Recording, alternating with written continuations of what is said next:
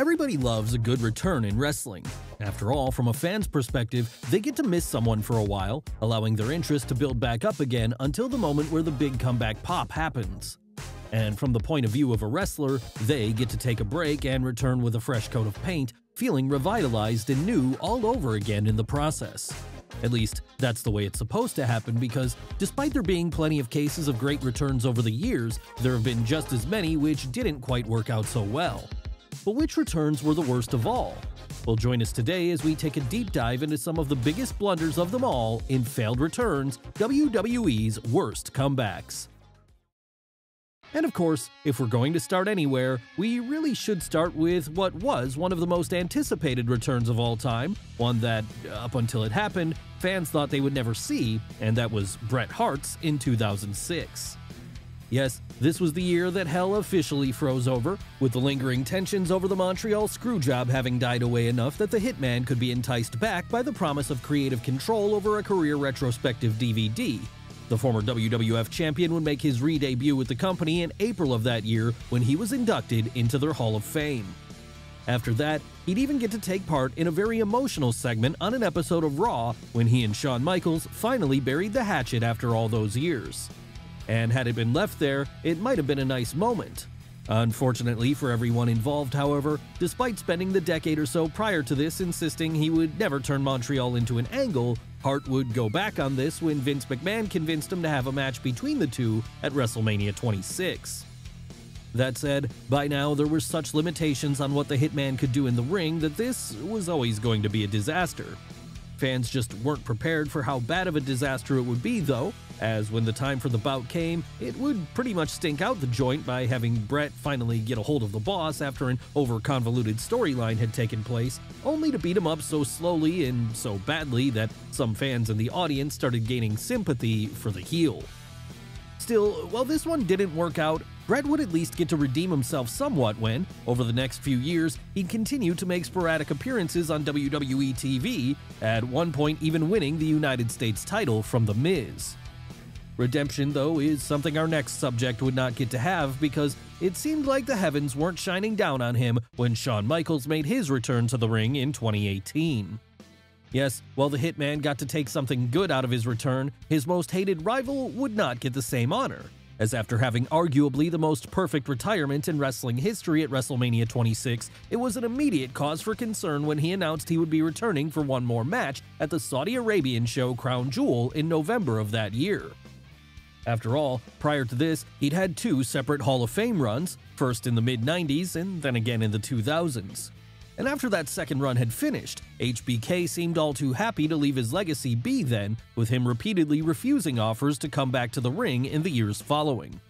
That was until he was given an offer he couldn't refuse and was finally convinced to lace up his boots one more time for the 2018 Crown Jewel pay-per-view as part of a tag team match with Triple H as they took on The Undertaker and Kane. And while fans were hesitant upon hearing this news, it was still Shawn Michaels they were talking about here, so surely if anyone could pull it off, even at his age, it would be him. Well, as it turned out, he couldn't, because after HBK would finally hit the ring on November 2nd, it would turn out to be one of the worst matches in recent memory. Yes, if something could have gone wrong that night, then it did go wrong. From Kane's mask falling off to Triple H getting injured, the match left such a stink in fans' minds afterwards that many have chosen to retroactively forget it ever happened. Of course, Shawn doesn't have the luxury of doing this, however, as in the years since, he's gone on to say that he regretted making his return that night and that it was something he would never do again, no matter how much money was thrown his way. But when it comes to his old tag team partner, though, you could probably offer him $20 and a six pack of beer and he'd be happy to show up at your event. Because for Marty Jannetty, a bit of extra cash to party with is always awesome.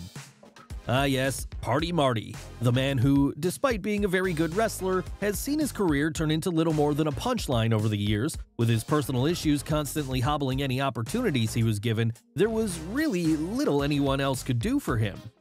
Not that people didn't try, of course. WWE included because even though he'd already been fired numerous times in the years prior, the company would choose to bring him back again in 2005 when he got to take on Kurt Angle as part of the build-up to the Olympic Heroes WrestleMania 21 encounter with Shawn Michaels. And despite putting on a very impressive performance during this one, all of that goodwill would once again be undone when, a year later, Marty came back again, this time to team up with his old tag partner as the Rockers reunited to fight the Spirit Squad. And sure, this one might have been a nice nostalgia spot if kept to being a one-time thing, but rather than doing this, Vince McMahon kept Jannetty around for a while after, giving him repeated opportunities to earn another contract should he humiliate himself by doing things such as joining the boss's Kiss My Ass Club. Of course, that led to fans quickly tiring of the whole thing because, with the Rockers' time having long since passed, there was really no desire to see Marty in a WWE ring anymore. That then was why he would eventually be cut from the roster once more, with him never getting another shot to have a full-time run in WWE as of the time of this video's recording.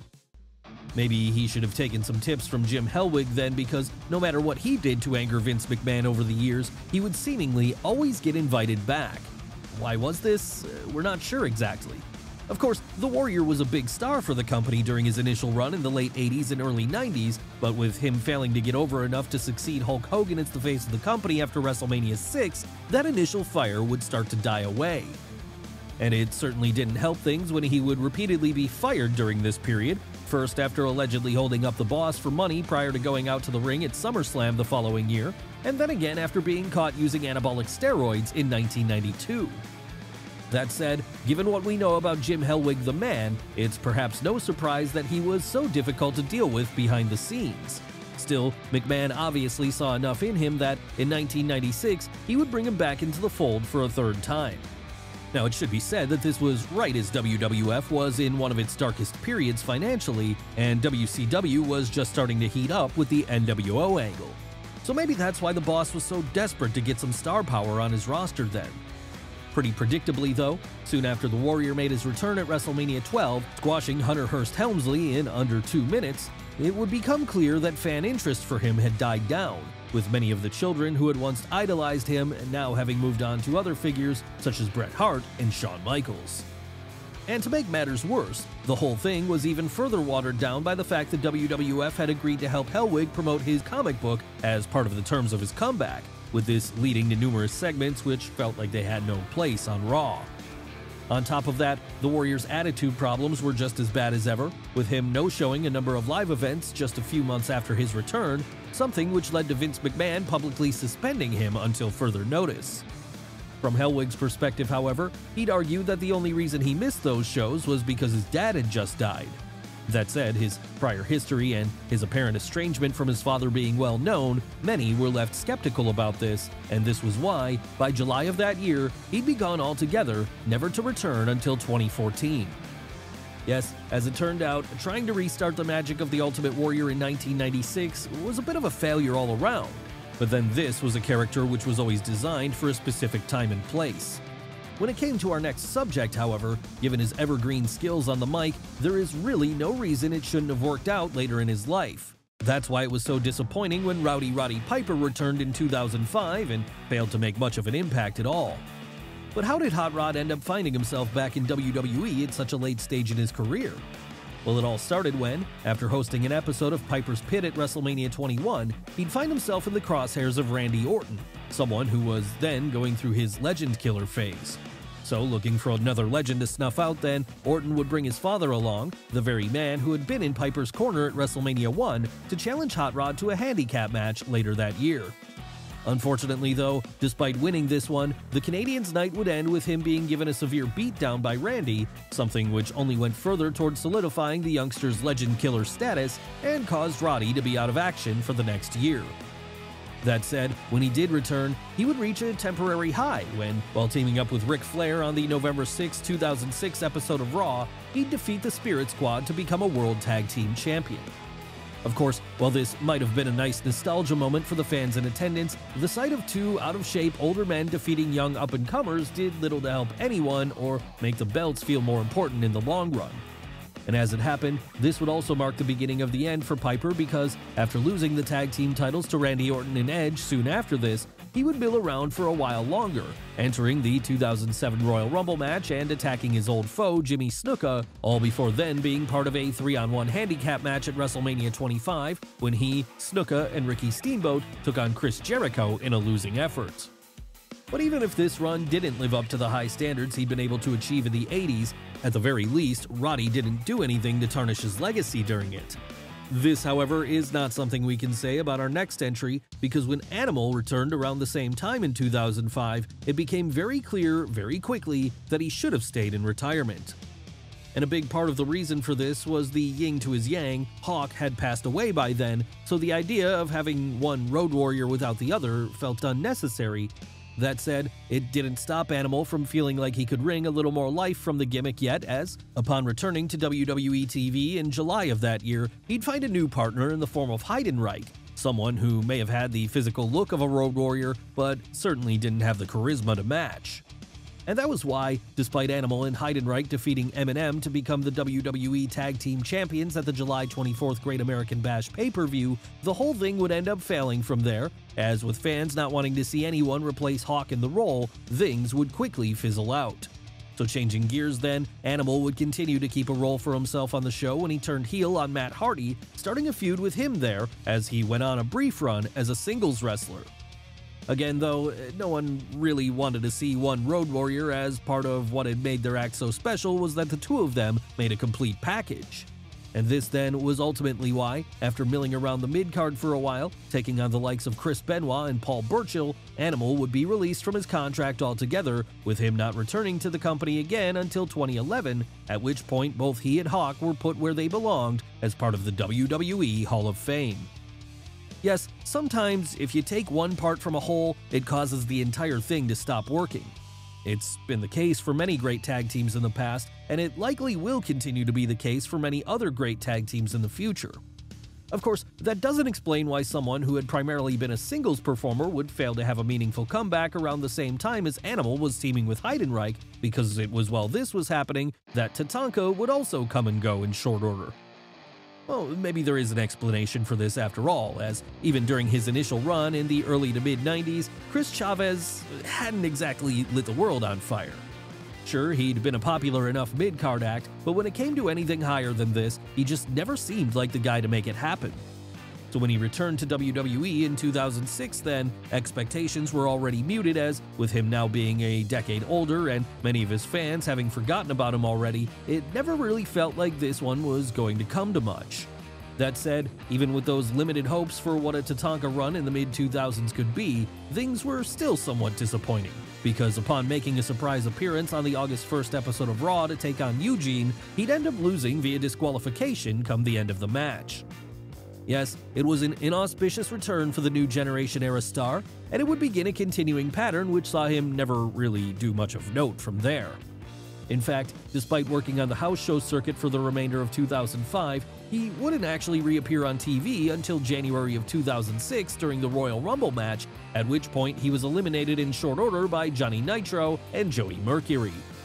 That said, at least this would give him something of a feud, as after recruiting Matt Hardy to be his tag partner following this, Tatanka would set his sights on taking MNM's tag team titles away from them as revenge for what they'd done to him at the Rumble.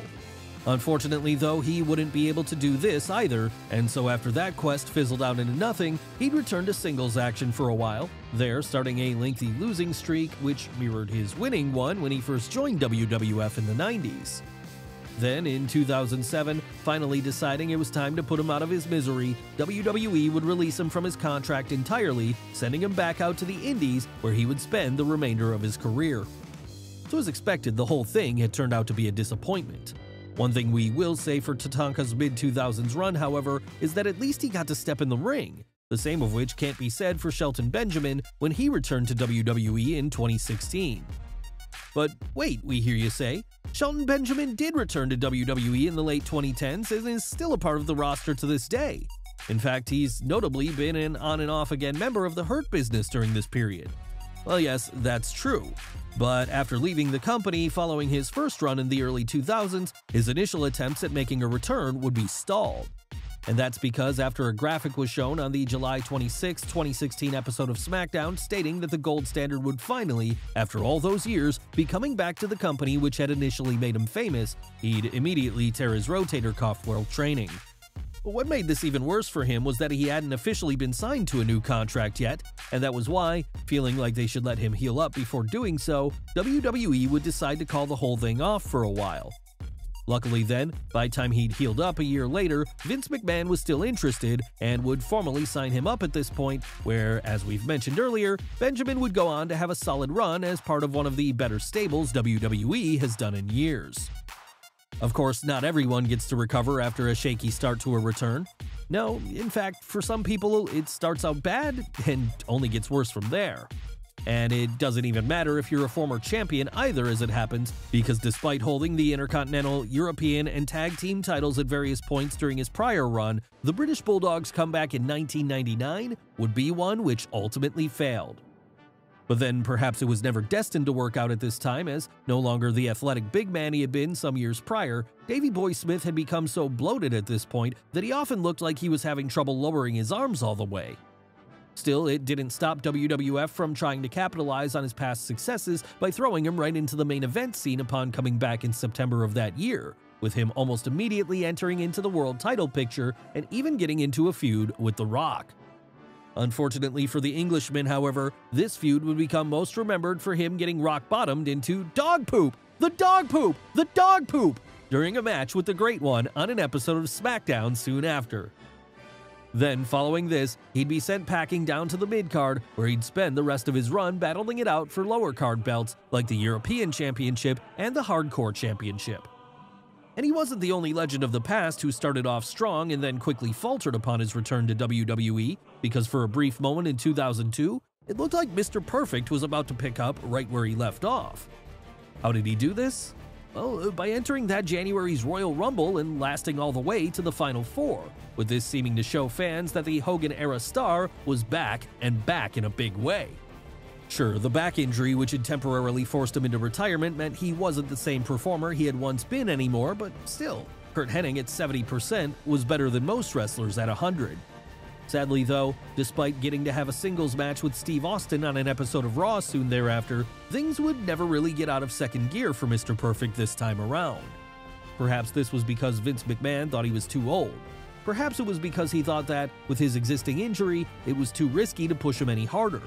Whatever the reason, as the weeks went on, Hennig would slip further and further down the card, with him ultimately being released from the company altogether following his involvement in the infamous plane ride from hell, where he and Brock Lesnar got into a brawl mid-fight and almost burst open the emergency door at 30,000 feet. Still, even if that was his swan song to WWE, it's a hell of a way to go out, and a story which will live on forever. And in the end, like everyone else on this list, it's ultimately the original run for Mr. Perfect which fans will remember most fondly. Sure, it's always nice to see someone make a return after years of having been away, whether it's for a nice nostalgia pop or to just prove that they still have some gas left in the tank. But as we've shown you today, sometimes it's better to leave the past in the past, especially if you're Shawn Michaels. Well guys, what did you think of the video? Let us know in the comments below. Don't forget to smash the like button, subscribe to the channel, as well as follow Wrestle with Andy on Instagram and Twitter. Thanks for watching, and we'll see you next time.